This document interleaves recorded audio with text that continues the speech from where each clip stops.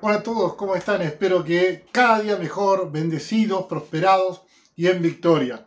Estamos felices de poder estar una vez más para compartir con vos este tiempo de gloria, de palabra de Dios, de fortaleza, de fe, porque hoy necesitamos más que nunca poner nuestros ojos en el autor y consumador de la fe, en Jesucristo.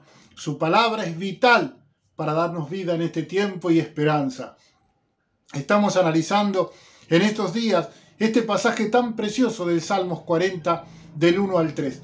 Y estuvimos hablando acerca de esta escritura que dice, pacientemente esperé a Jehová, y él se inclinó a mí y oyó mi clamor, y me hizo sacar del pozo de la desesperación y del lodo cenagoso. Me hizo sacar del pozo de la desesperación. Dios manda sus auxiliares, Dios manda a quien te rescate, a quien te ayude en el momento difícil. Aunque parece que el momento es tan angustiante, tan apremiante, y parece que no hay salida alguna, pero Él te hace sacar del pozo de la desesperación. El pozo es un lugar que todos sabemos lo que es un pozo, ¿no es cierto? Cuando se cava y se hace un hoyo en la tierra, no hay salida para abajo ni salida para los costados. El único lugar de salida de un pozo es hacia arriba. Quiero decirte que cuando uno cae en un pozo depresivo, cuando uno cae en un pozo donde ya siente la desesperación, el ahogo por la situación que está viviendo, por las relaciones personales o por la situación económica o por problemas de salud, uno cae en un pozo. Y eso parece que no tiene salida, pero hay una salida, está hacia arriba y esa salida se llama Jesús. Por lo tanto, hoy te invito a que leves tus ojos. Dice la escritura, alzaré mis ojos a los montes, de donde vendrá mi socorro. Mi socorro viene de Jehová que hizo los cielos y la tierra. Por eso, aquel que creó los cielos y la tierra, aquel que tiene poder, porque hizo todo lo necesario para rescatarte. Yo pongo un ejemplo que si hubo una distancia de 100 pasos entre el hombre, nosotros y Dios, Él hizo 99, pasó por las espinas, por todas las dificultades, por la, agresividad del terreno y nos dejó solamente un paso nosotros, el paso de fe, de decir, creo en vos, Señor. Y ahí el auxilio de Dios, y ahí la mano poderosa de Dios va a estar a tu favor para sacarte del pozo.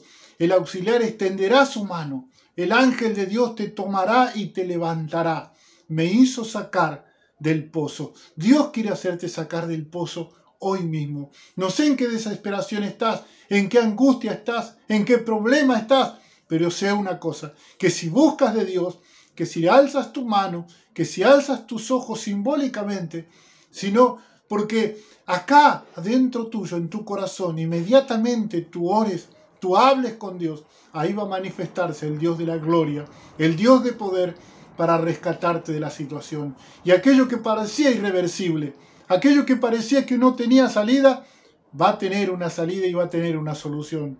Alentate, te aliento en el nombre de Jesús a que creas. Y también dice, me hizo sacar del lodo, del barro, ese pastoso, cenagoso, de esa ciénaga donde te hundís y tampoco podés salir. Y cuando más tratás de salir parece que te hundís más.